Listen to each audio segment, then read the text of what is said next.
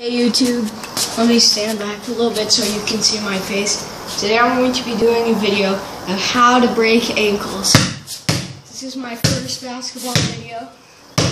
And I am wearing my Larry Bird shirt, so I'm all ready for this.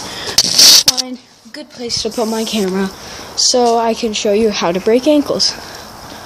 Uh, well, if you don't already know, breaking ankles means nasty crossovers. And nasty crossovers in basketball can help you with a lot of things. So let me start off by showing you an ankle breaker. So your opponent is going this way. So you want to dribble the ball hard and then get it around If you didn't see that, I will do that for you again. So just stand to the side a little bit and then charge back. Hold your hand out and then go behind the back. Going behind the back is pretty easy. Just, I'll show you that move again if you didn't get it or pick it up. Uh, I will, but okay, let's go. Where are you going?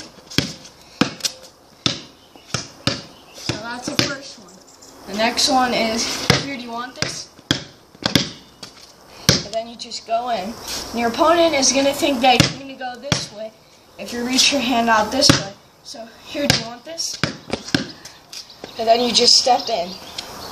Alright, this one is pretty straightforward. You just go straight. Step back a little bit. Go between the legs. And then go straight out. And then cross over. And you can practice this a few times. And it's going to help you with your technique. Let me do that again. I'm pretty much out of breath now, but let's keep on doing this. So for the first one, like this, go straight, hand down, and then behind the back. Second one, here, do you want this? Put your hand out, and then just go between the legs. And the third one is just a simple crossover. That will help you.